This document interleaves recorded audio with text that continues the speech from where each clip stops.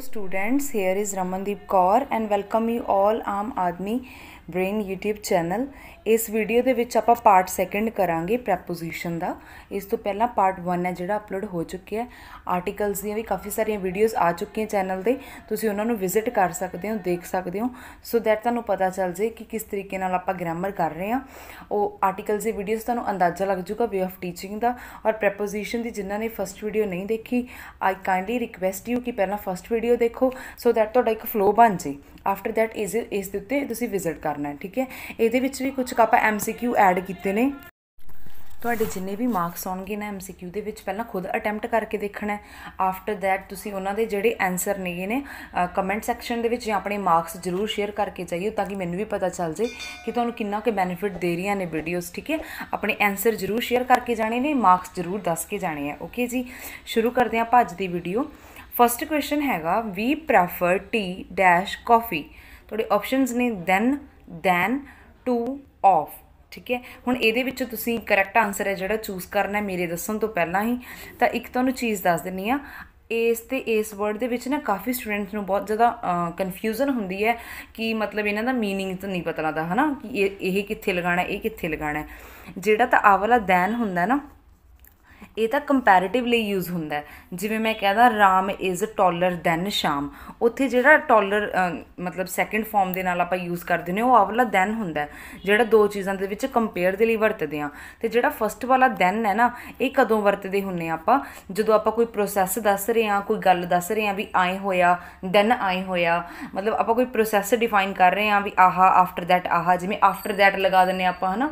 ਉਸ ਜਗ੍ਹਾ ਆਵਲਾ ਫਸਟ ਵਾਲਾ ਦੈਨ ਵੀ ਲਗਾ ਸਕਦੇ ਆ ਇਹਦੇ ਯੂਜ ਯੂਜ਼ਸ ਹੈ, ਤੇ ਤੁਹਾਨੂੰ ਪਤਾ ਹੋਣੇ ਚਾਹੀਦੇ ਆ ਤੇ ਜੇ ਫਸਟ ਕੁਐਸਚਨ ਦੀ ਮੈਂ ਗੱਲ ਕਰਾਂ, ਇਹਦਾ ਜਿਹੜਾ ਕਰੈਕਟ ਆਨਸਰ ਹੈਗਾ, ਇਹ ਆਪਸ਼ਨ ਨੰਬਰ ਸੀ ਇਹਦਾ ਕਰੈਕਟ ਆਨਸਰ ਹੈ, ਇੱਥੇ 2 ਆਊਗਾ।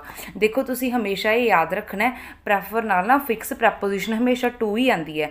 ਵੀ ਮੈਂ ਇਹ ਚੀਜ਼ ਨੂੰ ਪ੍ਰੈਫਰ ਕਰਦਾ, ਇਹਦੇ ਤੋਂ ਇਹ, ਇਹਨੂੰ ਪ੍ਰੈਫਰ ਕਰਦਾ। ਮੈਨੂੰ ਪਤਾ ਹੈ, ਕਈ ਸਟੂਡੈਂਟਸ ਨੂੰ ਲੱਗ ਰਿਹਾ ਹੋਊਗਾ, ਇੱਥੇ ਦੈਨ ਆਊਗਾ। ਹਨਾ? ਤੇ ਬਟ ਇਦਾਂ ਨਹੀਂ ਹੁੰਦਾ। ਇਹਦੇ ਨਾਲ ਫਿਕਸ ਪ੍ਰੈਪੋਜੀਸ਼ਨ ਹੈ। ਗ੍ਰਾਮਰ ਦੇ ਕੁਝ ਕੁ ਰੂਲਸ ਹੈ ਜਿਹਦੇ ਵਿਦਿਨ ਰਹਿ ਕੇ ਆਪਾਂ ਨੂੰ ਚੱਲਣਾ ਪੈਂਦਾ ਹੈ, ਹਨਾ? ਨਹੀਂ ਪਤਾ ਸੀ, ਕੋਈ ਗੱਲ ਨਹੀਂ, ਹੁਣ ਪਤਾ ਚੱਲ ਗਿਆ ਤਾਂ ਧਿਆਨ ਰੱਖਿਓ। ਪ੍ਰੈਫਰ ਨਾਲ ਹਮੇਸ਼ਾ ਕੀ ਯੂਜ਼ ਹੁੰਦਾ ਟੂ ਯੂਜ਼ ਹੁੰਦਾ ਹਾਂਜੀ। ਸੈਕਿੰਡ ਵਾਲਾ ਹੈਗਾ ਆਈ ਐਮ ਫੌਂਡ ਡੈਸ਼ 뮤직 ਹੁਣ ਅਗੇਨ ਕੀ ਹੈ? ਇਹਦੇ ਵਿੱਚ ਤੁਸੀਂ ਪਹਿਲਾਂ ਆਪਣਾ ਕਰੈਕਟ ਆਨਸਰ ਲਾਣਾ ਹੈ। ਫੌਂਡ ਦੇ ਨਾਲ ਕੀ ਆਊਗਾ? ਇਹ ਵੀ ਫੌਂਡ ਐਵੇਂ ਦਾ ਵਰਡ ਹੈ ਜਿਹਦੇ ਨਾਲ ਫਿਕਸ ਪ੍ਰੈਪੋਜੀਸ਼ਨ ਹੀ ਯੂਜ਼ ਕੀਤੀ ਜਾਂਦੀ ਹੈ। ਕੁਝ ਵੀ ਕੁਝ ਵੀ ਲਿਖਣਾ ਆਪਾਂ ਨੇ, ਉਸ ਤੋਂ ਬਾਅਦ ਆਪਾਂ ਲਾਈਕ ਫੌਂਟ ਨਾਲ ਜਿਹੜੀ ਫਿਕਸ ਪ੍ਰੈਪੋਜੀਸ਼ਨ ਯੂਜ਼ ਕੀਤੀ ਜਾਂਦੀ ਹੈ, ਉਹ ਆਫ ਹੈ, ਇਹਦਾ ਆਨਸਰ ਵੀ ਆਫ ਹੈ। ਆਲਸ ਜਿਹੜੇ ਸਟੂਡੈਂਟ ਕਰਦੇ ਆ ਨਾ, ਉਹਨਾਂ ਲਈ ਵੀ ਇਹ ਚੀਜ਼ ਇੰਪੋਰਟੈਂਟ ਰਹਿੰਦੀ ਹੈ, ਕਿਵੇਂ ਦੇਖੋ? ਆਪਾਂ ਕਹਿੰਦੇ ਆ like I am fond of 뮤직 ਜਿਹੜੀ ਵੀ ਚੀਜ਼ ਤੁਹਾਨੂੰ ਪਸੰਦ ਹੈ ਲਾਈਕ ਆਈ ਐਮ ਲਾ ਕੇ ਫੌਂਡ ਲਾ ਕੇ ਆਫ ਲਾ ਕੇ ਤੇ ਉਹ ਚੀਜ਼ ਦਾ ਨਾਮ ਲਿਖ ਦਿਓ ਜਿਹੜੀ ਵੀ ਤੁਹਾਨੂੰ ਪਸੰਦ ਹੈ। I am fond of music, I am fond of cooking I am fond of listening to music ਜੋ ਮਰਜ਼ੀ ਤੁਹਾਨੂੰ ਪਸੰਦ ਹੈ ਹਨਾ? ਉਹ ਆਪਾਂ ਫੌਂਡ of ਤੋਂ ਬਾਅਦ ਦੱਸਦੇ ਨੇ ਜਿਸ ਚੀਜ਼ ਦੇ ਆਪਾਂ ਸ਼ੌਕੀਨ ਹੈ। ਠੀਕ ਹੈ? ਬੇਸਿਕਲੀ ਇਹਦਾ ਮਤਲਬ ਇਹੀ ਹੁੰਦਾ ਕਲੀਅਰ ਹੈ ਜੀ? ਅੱਗੇ ਚੱਲਦੇ ਹਾਂ। ਥਰਡ ਕੁਐਸਚਨ ਹੈਗਾ ਆਪਣਾ। My wife has been suffering dash fever for 2 days ਕਹਿੰਦੇ ਜਿਹੜੀ ਮੇਰੀ ਵਾਈਫ ਹੈ ਨਾ ਉਹ ਸਫਰ ਕਰ ਰਹੀ ਹੈ। ਕਾਦੇ ਚੋਂ? ਫੀਵਰ ਚੋਂ? ਕਿੰਨੇ ਦਿਨਾਂ ਤੋਂ? ਦੋ ਦਿਨਾਂ ਤੋਂ? ਤੇ ਇਹਦੇ ਨਾਲ ਕੀ ਆਊਗਾ? ਹੁਣ ਤੁਸੀਂ ਇਹ ਆਪਸ਼ਨ ਨੰਬਰ ਏ ਆਊਗਾ ਆਫ ਫਰੋਮ ਅੰਡਰ ਜਾਂ ਅਬਵ ਇਹ ਤੁਸੀਂ ਦੇਖਣਾ ਹੈ। ਤੁਹਾਡੇ ਅਕੋਰਡਿੰਗ ਇਹਦੇ ਆਨਸਰ ਕੀ ਹੈ? ਹਾਂਜੀ, ਜਿਹੜਾ ਇਹਦਾ ਕਰੈਕਟ ਆਨਸਰ ਹੈਗਾ ਨਾ, ਇਹ ਹੈਗਾ ਆਪਸ਼ਨ ਨੰਬਰ ਬੀ ਫਰੋਮ ਇਹਦੇ ਵਿੱਚ ਆਊਗਾ ਫਰੋਮ ਹੁਣ ਫਰੋਮ ਇੱਥੇ ਕੀ ਹੈ? ਜਦੋਂ ਵੀ ਸਫਰ ਕਰ ਰਹੇ ਹੁੰਨੇ ਆ ਨਾ, ਸਫਰ ਦਾ ਮਤਲਬ ਹੀ ਗੁਜ਼ਰਨਾ ਨਹੀਂ ਹੈਗਾ। ਸਫਰ ਦਾ ਮਤਲਬ ਹੈ ਨਾ, ਇੱਥੇ ਕਿਸੇ ਚੀਜ਼ ਦੇ ਵਿੱਚੋਂ ਲਾਈਕ ਆਪਾਂ ਕਹਿੰਦੇ ਨਾ ਇਹ ਚੀਜ਼ ਬੋਦਰ ਕਰ ਰਹੀ ਆਪਾਂ ਨੂੰ, ਉਹਦੇ ਚੋਂ ਗੁਜ਼ਰ ਰਹੇ ਆ ਲਾਈਕ ਆਪਾਂ ਇਹ ਸਫ਼ਰ ਮਤਲਬ ਉਹ ਵਾਲਾ ਸਫ਼ਰ ਨਹੀਂ ਹੈਗਾ, ਜਿਹੜਾ ਆਪਾਂ ਟਰੈਵਲ ਕਰਦੇ ਹੁੰਨੇ ਆ। ਕਿਸੇ ਚੋਂ ਲੰਘ ਰਹੇ ਆ ਆਪਾਂ, ਕਿਸੇ ਬਿਮਾਰੀ ਚੋਂ ਲੰਘ ਰਹੇ ਆ। ਲਾਈਕ ਹੁਣ ਜਿਵੇਂ ਆਪਾਂ ਕਹਿ ਕਹਿ ਸਕਦੇ ਆ ਕਿ ਬਹੁਤ ਸਾਰੇ ਲੋਕ ਨੇ ਜਿਹੜੇ ਅੱਜ ਕਰੋਨਾ ਦੀ ਬਿਮਾਰੀ ਤੋਂ ਸਫ਼ਰ ਕਰ ਰਹੇ ਆ। ਇਦਾਂ ਕਹਿ ਸਕਦੇ ਆ ਨਾ ਆਪਾਂ, ਤਾਂ ਕਿਸੇ ਵੀ ਸਫ਼ਰ, ਚਾਹੇ ਫੀਵਰ ਚੋਂ ਕਰੋ ਕਰੋਨਾ ਚੋਂ ਕਰੋ, ਕਿਸੇ ਮਰਜ਼ੀ ਚੋਂ ਕਰੋ, ਸਫ਼ਰ ਨਾਲ ਫਿਕਸ ਪ੍ਰੈਪੋਜੀਸ਼ਨ ਹਮੇਸ਼ਾ ਕਿਹੜੀ ਲੱਗਦੀ ਹੈ? ਫਰੋਮ ਲੱਗਦੀ ਹੈ, ਠੀਕ ਹੈ? ਇਹ ਧਿਆਨ ਚ ਰੱਖਣਾ, ਇਹ ਸਫ਼ਰ ਟਰੈਵਲ ਵਾਲਾ ਸਫ਼ਰ ਨਹੀਂ ਹੈਗਾ, ਇਹ ਗੁਜ਼ਰਨ ਵਾਲਾ ਵੀ, ਉਹਦੇ ਚੋਂ ਲੰਘ ਰਹੇ ਆ ਆਪਾਂ, ਉਹ ਚੀਜ਼ ਨੂੰ ਫੇਸ ਕਰ ਰਹੇ ਆ ਠੀਕ ਹੈ ਜੀ ਨੈਕਸਟ ਦੇ ਉੱਤੇ ਚੱਲਦੇ ਆ ਦਾ teacher congratulation dash her success ਹਾਂਜੀ, ਇਹਦਾ ਆਨਸਰ ਹੈ ਤੁਹਾਡੇ ਅਕੋਰਡਿੰਗਲੀ ਇਹਦਾ ਜਿਹੜਾ ਆਨਸਰ ਹੈ ਕੀ ਹੋਣਾ ਚਾਹੀਦਾ ਹੈ? ਬਾਈ ਔਨ ਐਟ ਜਾਂ ਫਿਰ ਟੂ ਹਾਂਜੀ, ਪਹਿਲਾਂ ਤੁਸੀਂ ਸੋਚੋ ਆਫਟਰ ਦੈਟ ਤੁਹਾਨੂੰ ਇਹਦਾ ਕਰੈਕਟ ਆਨਸਰ ਕੀ ਹੈ, ਮੈਂ ਦੱਸੂਗੀ। ਇਹਦਾ ਜਿਹੜਾ ਕਰੈਕਟ ਆਨਸਰ ਹੈਗਾ ਨਾ ਦੈਟ ਇਜ਼ ਆਪਸ਼ਨ ਨੰਬਰ ਇਹਦਾ ਹੈਗਾ, that is this one, just a minute. On option number B ਇਹਦਾ ਕਰੈਕਟ ਆਨਸਰ ਹੈ ਔਨ ਆਊਗਾ। ਕੰਗ੍ਰੈਚੁਲੇਸ਼ਨ ਨਾਲ ਵੀ ਹਮੇਸ਼ਾ ਔਨ ਹੀ ਲਿਖਦੇ ਆ ਆਪਾਂ। ਬਸ ਧਿਆਨ ਇਹ ਦੇਣਾ ਹੈ ਤੁਸੀਂ, ਜਿਹੜੀ ਚੀਜ਼ ਤੇ ਤੁਸੀਂ ਕੰਗ੍ਰੈਚੁਲੇਟ ਕਰ ਰਹੇ ਹੋ ਨਾ ਅਗਲੇ ਨੂੰ ਸਕਸੈਸ ਤੇ ਕਰ ਰਹੇ ਹੋ, ਕਿਸੇ ਵੀ ਚੀਜ਼ ਤੇ ਕੋਈ ਚੀਜ਼ ਅਗਲੇ ਨੇ ਅਚੀਵ ਕੀਤੀ, ਉਹਦੇ ਤੇ ਕਰ ਰਹੇ ਹੋ, ਉਹਦੇ ਅੱਗੇ ਲਾਣਾ ਹੁੰਦਾ ਆਪਾਂ। ਔਨ ਠੀਕ ਹੈ? ਇਹ ਚੀਜ਼ ਦਾ ਧਿਆਨ ਰੱਖਿਓ ਤੁਸੀਂ। ਹੁਣ ਕੰਗ੍ਰੈਚੁਲੇਸ਼ਨ ਦੇ ਨਾਲ ਨਾ ਇੱਕ ਹੋਰ ਵਰਡ ਯਾਦ ਕਰ ਲਓ ਤੁਸੀਂ ਵਧੀਆ ਤਰੀਕੇ ਨਾਲ, ਜਿਹਦੇ ਨਾਲ ਅਗੇਨ ਫਿਕਸ ਪ੍ਰੈਪੋਜੀਸ਼ਨ ਆਉਂਦੀ ਹੈ। ਮਤਲਬ ਤੁਹਾਨੂੰ ਕਰਵਾਨੀ ਹੈ ਇੱਕ ਵਰਡ ਇਨਵਾਈਟ ਇਨਵਾਈਟ ਵਰਡ ਹੈ ਨਾ ਇੱਕ ਇੱਕ ਵੈਲਕਮ ਵਰਡ ਇਹਨਾਂ ਦੋਨਾਂ ਨਾਲ ਨਾ ਫਿਕਸ ਪ੍ਰੈਪੋਜੀਸ਼ਨ ਕੀ ਆਂਦੀ ਹੁੰਦੀ ਹੈ? ਹਮੇਸ਼ਾ ਹੀ ਟੂ ਆਉਂਦੀ ਹੁੰਦੀ ਹੈ। ਤੇ ਟੂ ਕਿੱਥੇ ਲਗਾਉਣਾ ਤੁਸੀਂ ਇਹ ਗੱਲ ਦਾ ਧਿਆਨ ਰੱਖਿਓ। ਕਿਸੇ ਨੂੰ ਕਿਸੇ ਚੀਜ਼ ਤੇ ਇਨਵਾਈਟ ਕੀਤਾ ਕਿਸੇ ਨੂੰ ਕਿਸੇ ਚੀਜ਼ ਲਈ ਵੈਲਕਮ ਬੋਲ ਰਹੇ ਹੋ, ਉਹਦੇ ਤੇ ਟੂ ਲਾਉਣਾ ਮੈਂ ਤੁਹਾਨੂੰ ਐਗਜ਼ਾਮਪਲ ਦੇ ਦਿੰਨੀ ਆ ਤਾਂ ਕਿ ਤੁਹਾਨੂੰ ਪਤਾ ਚੱਲ ਜੇ। ਇੱਕ ਰੂਲ ਤੋਂ ਮੈਂ ਥੋੜਾ ਰਿਲੇਟ ਕਰਕੇ ਹੋਰ ਰੂਲਸ ਵੀ ਕਵਰ ਕਰਾਉਣ ਦੀ ਕੋਸ਼ਿਸ਼ ਕਰ ਰਹੀ ਹਾਂ। I invite you to come to tea tomorrow ਹੁਣ ਇਨਵਾਈਟ ਨਾਲ ਹਮੇਸ਼ਾ ਆਪਾਂ ਟੂ ਲਗਾਉਣਾ ਹੁੰਦਾ ਤੇ ਜਿਹੜੀ ਚੀਜ਼ ਉੱਤੇ ਅਗਲੇ ਨੂੰ ਇਨਵਾਈਟ ਕੀਤਾ ਨਾ, ਉਹਦੇ ਅੱਗੇ ਟੂ ਲਾਉਣਾ ਹੁੰਦਾ ਇਹ ਗੱਲ ਦਾ ਧਿਆਨ ਰੱਖਿਓ। ਆਰਟੀਕਲਸ ਵਾਂਗੂ ਨਹੀਂ ਹੁੰਦੀਆਂ ਪ੍ਰੈਪੋਜੀਸ਼ਨਸ ਵੀ ਜਿਵੇਂ ਆਰਟੀਕਲ ਤਾਂ ਆਪਾਂ ਪ੍ਰੋਪਰ ਜਿਹੜੇ ਦੇ ਬਾਰੇ ਰੂਲ ਦੇ ਬਾਰੇ ਗੱਲ ਕਰਦੇ, ਉਹਦੇ ਅੱਗੇ ਹੀ ਲਾਉਂਦੇ ਸੀ ਨਾ। ਪ੍ਰੈਪੋਜੀਸ਼ਨ ਹੀ 100% ਜ਼ਰੂਰੀ ਨਹੀਂ ਵੀ ਉਹਦੇ ਅੱਗੇ ਜਾਂ ਜਮਾ ਨਾਲ ਹੀ ਆਉਣਗੀਆਂ। ਬਟ ਸੈਂਟੈਂਸ 'ਚ ਜਦੋਂ ਉਹ ਸੈਂਸ ਕੱਢੂਗਾ, ਉਹਦੇ ਅੱਗੇ ਜ਼ਰੂਰ ਆਊਗਾ।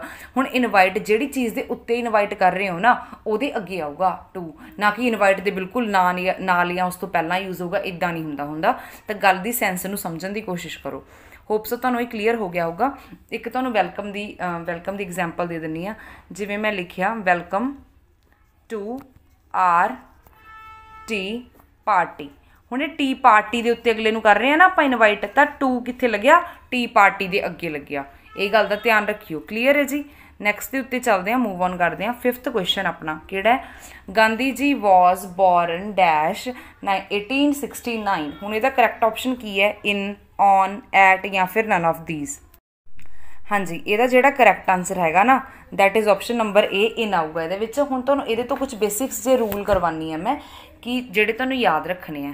ਹੁਣ ਦੇਖੋ, ਜਦੋਂ ਕਿਸੇ ਈਅਰ ਦੀ ਗੱਲ ਕਰਦੇ ਆ ਨਾ ਵੀ ਆਹ ਸਾਲ ਦੇ ਵਿੱਚ ਕੁਝ ਹੋਇਆ, ਆਹ ਮੰਥ ਦੇ ਵਿੱਚ ਕੁਝ ਹੋਇਆ ਜਾਂ ਆ ਵੀਕ ਦੇ ਵਿੱਚ ਕੁਝ ਹੋਇਆ। ਇਹ ਈਅਰ ਦੇ ਆਪਣੇ ਆਪ ਦੇ ਵਿੱਚ 12 ਮਹੀਨੇ ਹੁੰਦੇ ਆ। ਮੰਥ ਦੇ ਵਿੱਚ ਆਪਣੇ ਆਪ ਦੇ ਵਿੱਚ ਲਗਭਗ 28 ਤੋਂ 30 ਦਿਨ ਹੁੰਦੇ ਆ ਜਾਂ 31 ਵੀਕ ਦੇ ਵਿੱਚ 7 ਡੇਜ਼ ਹੁੰਦੇ ਆ। ਹਨਾ? ਮਤਲਬ ਆਪਣੇ ਆਪ ਦੇ ਵਿੱਚ ਇੱਕ ਯੂਨਿਟ ਹੈ ਤਾਂ ਇਹਨਾਂ ਤਿੰਨਾਂ ਦੇ ਨਾਲ ਜਿਹੜੀ ਪ੍ਰੈਪੋਜੀਸ਼ਨ ਲੱਗਦੀ ਹੈ ਨਾ, ਉਹ ਇਨ ਲੱਗਦੀ ਹੈ। ਕੋਈ ਵੀ ਈਅਰ ਆ ਜਾਏ, ਤੁਹਾਨੂੰ ਇਹਦੀ ਜਗ੍ਹਾ ਤੇ ਕੋਈ ਮੰਥ ਦਿੱਤਾ ਹੁੰਦਾ ਤਾਂ ਵੀ ਇਨ ਆਂਦਾ ਵੀਕ ਦਿੱਤਾ ਹੁੰਦਾ ਕੁਝ ਤਾਂ ਵੀ ਇਨ ਹੀ ਆਂਦਾ ਕਲੀਅਰ ਹੈ? ਇਸ ਤੋਂ ਇਲਾਵਾ ਜੇ ਤੁਹਾਨੂੰ ਕੋਈ ਪਾਰਟਿਕੂਲਰ ਡੇ ਦੇਤਾ ਨਾ ਡੇ ਸੰਡੇ ਮੰਡੇ ਟਿਊਜ਼ਡੇ ਜਾਂ ਕੋਈ ਡੇਟ ਦੇਤੀ। ਠੀਕ ਹੈ? 15 ਅਗਸਤ 1947 ਨੂੰ ਆਪਣੀ ਇੰਡੀਪੈਂਡੈਂਸ ਹੋਈ ਸੀ, ਜਿਵੇਂ ਕੋਈ ਪ੍ਰੋਪਰ ਡੇਟ ਦੇਤੀ, ਤਾਂ ਉਹਨਾਂ ਦੋਨਾਂ ਦੇ ਨਾਲ ਜਿਹੜੀ ਫਿਕਸ ਪ੍ਰੈਪੋਜੀਸ਼ਨ ਯੂਜ਼ ਹੋਊਗੀ ਨਾ, ਉਹ ਔਨ ਯੂਜ਼ ਹੋਊਗੀ।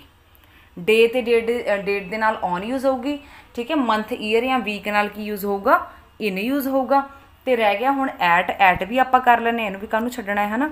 ਤੇ ਜਿਹੜਾ ਇਹ ਐਟ ਹੈ ਨਾ, ਇਹ ਕਦੋਂ ਯੂਜ਼ ਹੁੰਦਾ ਹੁੰਦਾ ਜਦੋਂ ਕੋਈ ਐਗਜ਼ੈਕਟ ਆਪਾਂ ਨੂੰ ਟਾਈਮ ਦੱਸ ਦੇ ਕੋਈ ਐਗਜ਼ੈਕਟ ਆਪਾਂ ਨੂੰ ਲੋਕੇਸ਼ਨ ਦੱਸ ਦੇ, ਠੀਕ ਹੈ?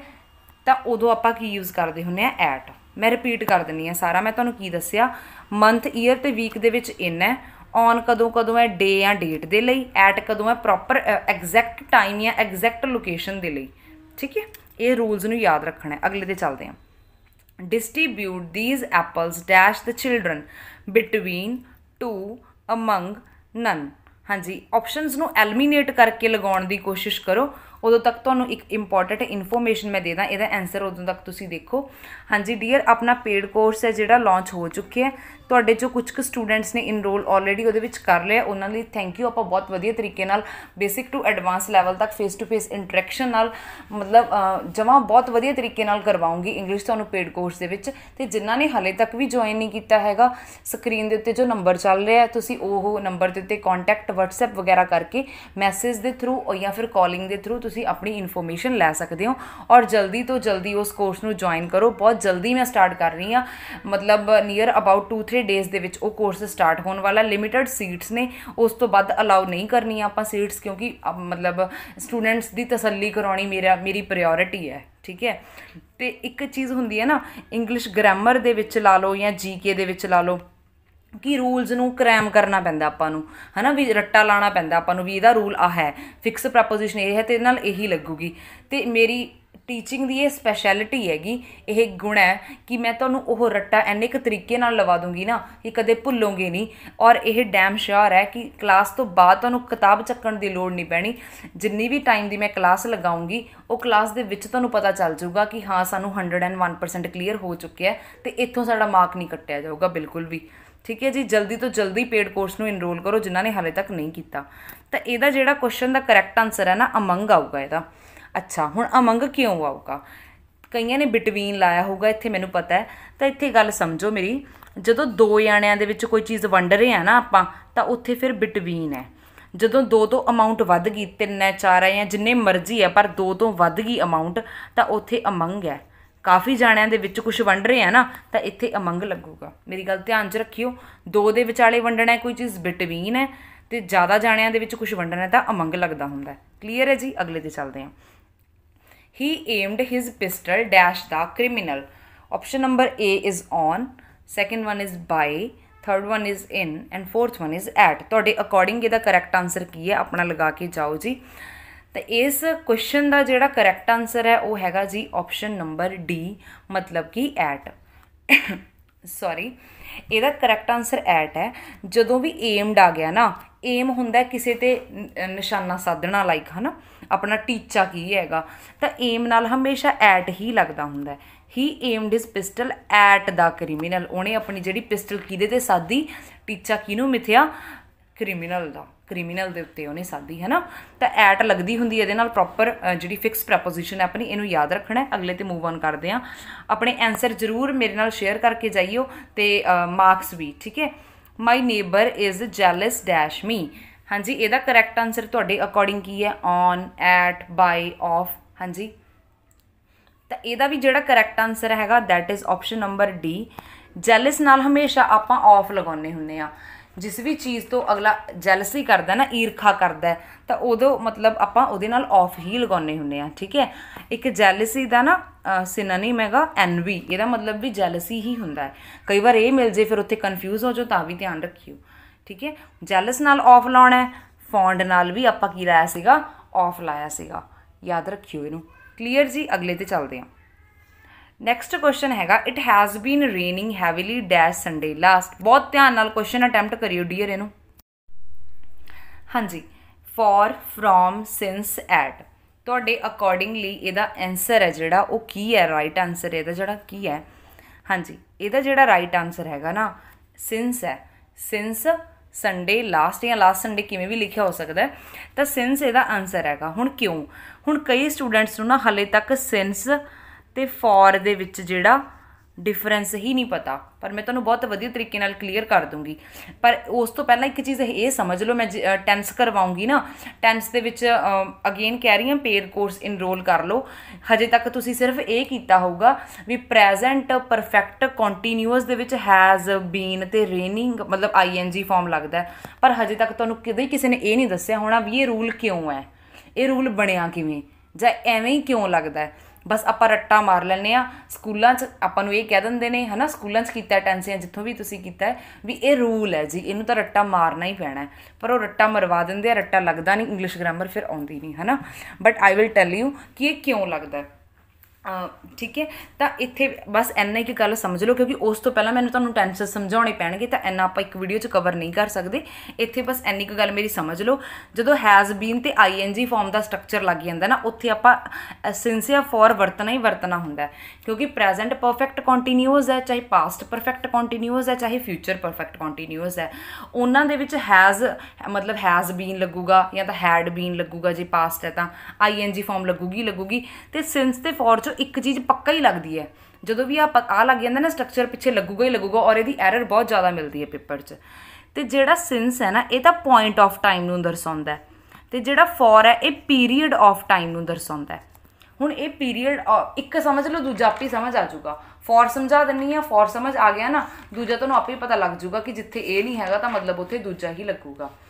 ਹੁਣ ਜਦੋਂ ਆਪਾਂ ਨੂੰ ਐਗਜ਼ੈਕਟ ਪੀਰੀਅਡ ਦੇਤਾ ਨਾ, ਵੀ ਕੋਈ ਕੰਮ ਹੈ 2 ਘੰਟਿਆਂ ਤੋਂ ਹੋ ਰਿਹਾ ਹੈ 2 ਸਾਲਾਂ ਤੋਂ ਹੋ ਰਿਹਾ ਹੈ 2 2 ਮਹੀਨਿਆਂ ਤੋਂ ਹੋ ਰਿਹਾ ਹੈ ਜਾਂ ਕਿੰਨਾ ਵੀ ਟਾਈਮ ਦਿੱਤਾ 4 ਘੰਟਿਆਂ ਤੋਂ ਹੋ ਰਿਹਾ ਐਗਜ਼ੈਕਟ ਤੁਹਾਨੂੰ ਉਦੋਂ ਪੀਰੀਅਡ ਦਿੱਤਾ ਹੋਊਗਾ ਵੀ ਐਨੇ ਤੋਂ ਐਨੇ ਟਾਈਮ ਤੋਂ ਹੋ ਰਿਹਾ ਠੀਕ ਹੈ?